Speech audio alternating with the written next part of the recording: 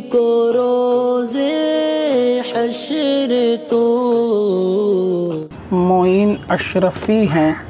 सवाल इनका ये है, शादी वगैरह के अंदर पैसा दिया जाता है, जैसे वलीमे के अंदर लोगों को लिखने के लिए बिठाल देते हैं। न्योता दिया जाता है तो क्या न्योता के लिए लिखना बिठालना फिर इस पर ज़्यादा रकम वगैरह देते हैं। और इससे रिलेटेड एक सवाल सूद का भी था कि क्या ये जो पैसे बढ़ा कर दिए जाते हैं, क्या ये सूद होता है? जैसे किसी ने खाना वगैरह खाने के लिए दावत में आते हैं तो कोई पाँच सौ रुपये हज़ार रुपये लिखवाता है तो अगली बार इसको जो है ना, पैसे ज़्यादा दिए जाएँगे। जैसे पाँच सौ के ऊपर, पाँच सौ रुपये के ऊपर कुछ बढ़ा के दिया जाएगा तो क्या ये पाँच सौ रुपये लेना, लिखना, इसको नोट करके रखना जो लोग देते हैं, क्या ये सूद होता है? या कर्ज़ होता है, और अगर कर्ज़ होता है तो फिर इस कर्ज़ के ऊपर जो पैसा बढ़ाकर अगली शादी में इन लोगों की दिया जाएगा, जिन्होंने दिया है तो क्या ये सूद होगा? नहीं होगा। तो असल में हमारे जो उर्फ़ के अंदर ये चीज़ चलती है ना कि दावत के अंदर कुछ लिखवाते हैं, पैसा वगैरह अमाउंट वगैरह तो ये कर्ज़ उस सूरत में होता है जब किसी ख़ास ख़ानदान या बरदरी के अंदर ये रिवाज हो कि वहाँ पर जो है ना कर्ज़ दिया जाता है इस एतबार से इसको कर्ज़ शुमार किया जाता है, और नोट करके लोग लिखते हैं। जैसे कि शादी के टाइम पे ख़ास ख़ानदान वाले जमा होंगे और किसने कितना पैसा दिया या कौन क्या देना चाहता है तो उसको लिखा जाता है कि भाई मेरी तरफ़ से दो हज़ार, मेरी तरफ़ से पाँच हज़ार। और ये भी लोग जानते हैं, जितने लोग वहाँ पे दे रहे होते हैं कि अगली बार हमको ये वापस इसकी शादी में या इसके घर की शादी में करना ही पड़ेगा। तो ये कर्ज़ तो उस सूरत में ही होगा कि जहाँ पर उर्फ़ के अंदर इसको कर्ज़ काउंट किया जाता है या किसी ख़ास ख़ानदान, रिश्तेदार या कबीले के अंदर इसको कर्ज़ शुमार करते हैं और इन लोगों का आपसी रिवाज यही चला हुआ है कि ये कर्ज़ की सूरत में देते हैं मदद के टाइम पे, शादी के टाइम पे और फिर वापस लेने वाले को पता होता है कि मुझे ये अमाउंट वापस करना और इसको बाकायदा लिखा भी जाता है।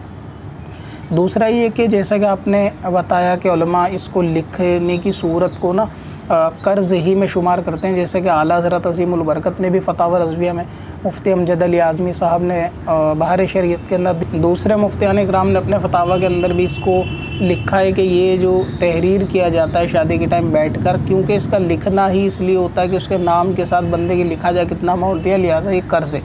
मगर ऐसा होता है कि अक्सर आप देखेंगे कि लिखने की वजह से इसको हमेशा कर्ज़ ही शुमार किया जाए, ऐसा नहीं होता।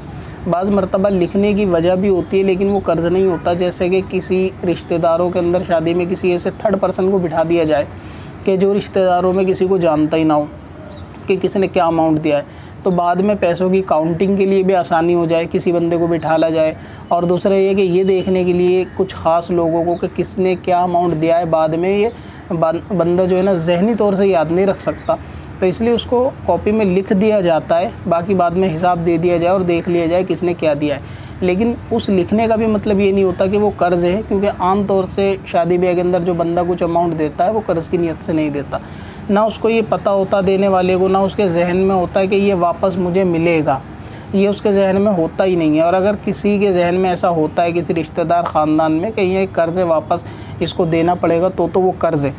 लेकिन अमूमी तौर पर ऐसा जो है ना आवाम के अंदर देखा नहीं जाता कि शादी ब्याह के अंदर लोग दें। दूसरी बात ये है कि अगर बिलफर्ज जहाँ पर कर्ज़ होता है तो उस कर्ज़ के अंदर जो पैसा फिर बाद में बढ़ा के दिया जाता है तो वो भी सूद नहीं होता। क्योंकि कर्ज़ के ऊपर पैसा कितना बढ़ा के दिया जाएगा, ये कोई फ़िक्स नहीं होता कि भाई ये कर्ज़ के ऊपर आपको पाँच सौ के ऊपर सात सौ देने या हमने दो हज़ार दिए तो आपको तीन हज़ार देने, ऐसा कोई तय नहीं होता। बंदा अपनी मर्ज़ी से उसके ऊपर इजाफ़ा करके देता है और वो इजाफ़ा फिर उसके ऊपर कर्ज़ हो जाता है, फिर ये अगला कर्ज़ चढ़ने वाली बात होती है। यानी किसी ने एक हज़ार रुपये दिए अगली शादी में, जब ये बंदा जाएगा, ये पंद्रह सौ देगा। तो इसने हज़ार तो उसके बराबर किए, पाँच सौ रुपये अपने चढ़ा दिए और ये फिर जब इसकी शादी में आएगा तो फिर ये ऊपर पाँच सौ वाले हिसाब से इसको पैसे देगा। इस तरह सिलसिला चलता है। तो कर्ज़ इस सूरत में होता है और सूद भी उसी सूरत में होगा, जब ये कहा जाए कि ये कर्ज़ है हज़ार रुपये और इसमें जो है आपको दो सौ रुपये या इतने परसेंट के हिसाब से बढ़ा के देना है। तो इसलिए जो उमूमन शादी के अंदर ये जो लिखने का सिलसिला है वलीमे में, ये तो ये लोगों की, इसको तोहफ़ा ही शुमार किया जाएगा, लोगों की तरफ़ से दिया गया हदिया। इसको कहेंगे कि ये जो है ना मुबा होता है कि लोग अपनी मर्ज़ी से जो है ना देते हैं, इसके अंदर कोई कर्ज़े वाली या कोई डिमांड वाली बात नहीं होती।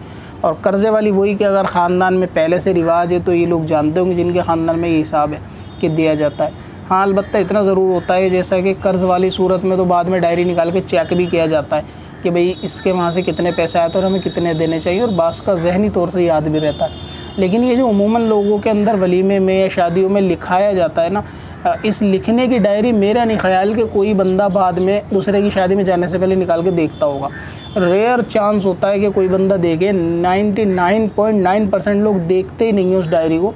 एक बार सिर्फ़ उसमें हिसाब लगाया जाता है कि इतना पैसा आया और जो पैसा हाथ में है, वो इतना है या नहीं है। हिसाब लगाने के बाद जो है उस डायरी को रख दिया जाता है, फिर उसको कभी दोबारा दूसरे की शादी में खोल के भी नहीं देखा जाता। फिर बंदा अपनी हैसियत के हिसाब से ही जब शादी में जाता तो देता है कि उसको पाँच सौ इक्यावन देने या एक हज़ार इक्यावन। तो ये जो लोगों की तरफ़ से अमाउंट जमा होता है, ना तो ये कर्ज़ होता, ना तो ये सूद होता और ये लेने वाले को वापस करना भी नेसेसरी नहीं होता कि ये वापस करेगा। और जो पहली सूरत रिश्तेदारों की बयान की कि जिसके अंदर ये पता होता है कि हाँ ये लोग आपस में मिल के कर्ज़ लेते देते हैं शादी में कि भाई कौन कितना पैसा लिखवाएगा इस एतबार से तो ये फिर कर्ज़ होगा तो इसको वापस करना ज़रूरी है। इसको तो वापस किया ही जाएगा, अगर ये कर्ज़ है तो बाद में इसकी शादी में जो है ना वो पैसा दिया जाएगा। ये देन इसके ऊपर लाजिम रहेगा कर्ज़ की सूरत में। बाकी उमूमा निका के टाइम पे अमाउंट जो लिखवाया जाएगा वो देन, ना तो कर्ज़ है, ना तो उसको वापस दिया जाएगा।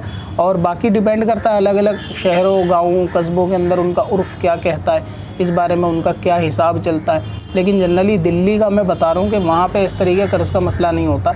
वहाँ लिफाफे में अमाउंट या तोहफ़ा या पैसे वगैरह लिखवाए जाते हैं तो वो जो है ना, शादी वाले या जिनके अगर प्रोग्राम है, उनके लिए एक तरीके से तोहफ़ा, उनकी मदद के हिसाब से मुबा और हिबा वाली चीज़ होती है। ना तो उनको वापस करना, ना वो दोबारा उस डायरी को कभी शादियों में खोल के उसके बाद देखते।